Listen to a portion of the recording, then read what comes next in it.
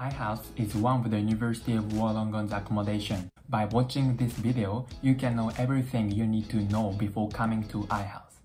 Hello everyone, I'm Kazuma. I'm a study abroad student from Japan. And in this video, I would like to review iHouse from the point of view of Campus East. Cause I already stayed in Campus East in the previous semester, I can compare Campus East and iHouse. So if you are struggling with making decision of which accommodation to stay, this video will definitely help you.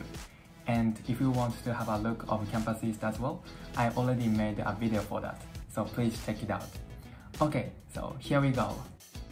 Here is the dining hall. Breakfast starts from 7.30 and ends at 10.30. On Monday, Wednesday, and Friday, we have a meal and yogurt. But the other days, we have only bread and yogurt. The quality of the food is almost the same with Campus East, so you can expect the same thing in Campus East. We have multiple breads as well, and my favorite one is this fruit bread, and butter, and peanut butter, and jam, and honey. And we have of course toaster and coffee machine, and we can brew tea as well. Breakfast is kinda important time to talk with other people and make friends, so I really appreciate this time and enjoy it. And next, this is my room. Unlike Campus East, we do not have to share the unit with other people. It's kinda your private own room, but it's a bit smaller than Campus East's room. And the desk is also smaller. But it's just my opinion, and it's just compared to Campus East. So basically, you will not have any problem and trouble. It's so clean and comfortable room.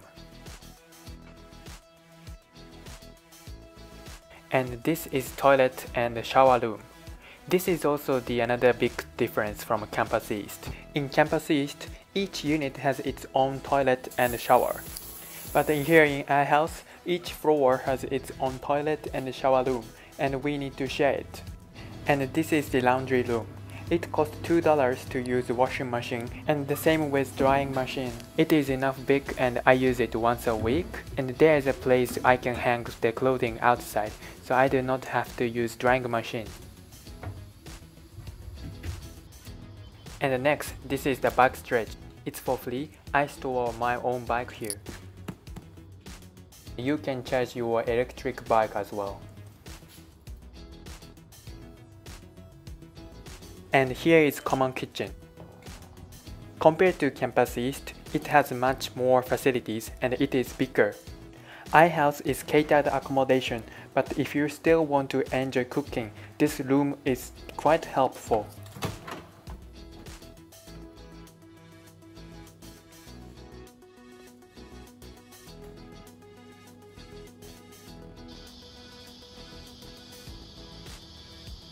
And next, games room and music room.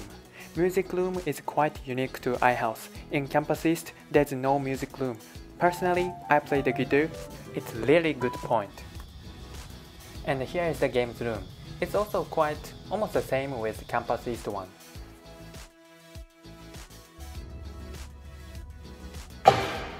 I used to play much better. And here is another common area. It's called Red Room. Here we can watch Netflix,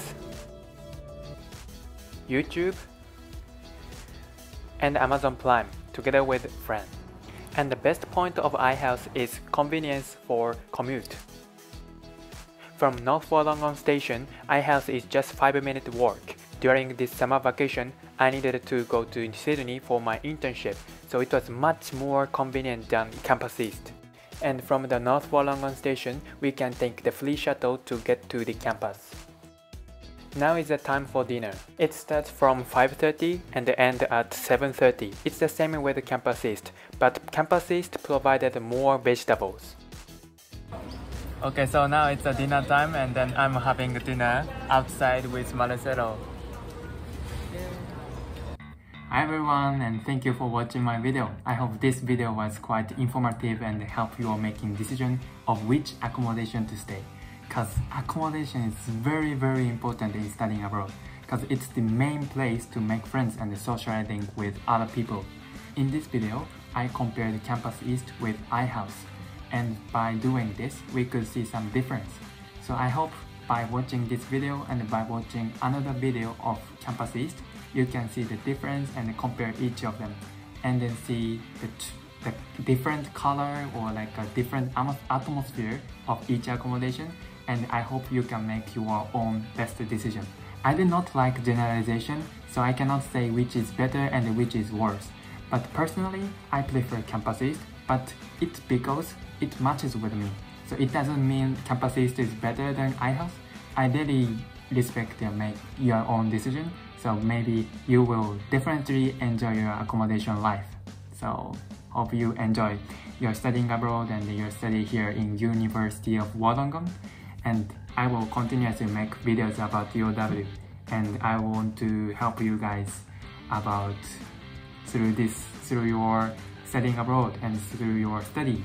So please watch my video. Thank you so much and subscribe my channel. See ya!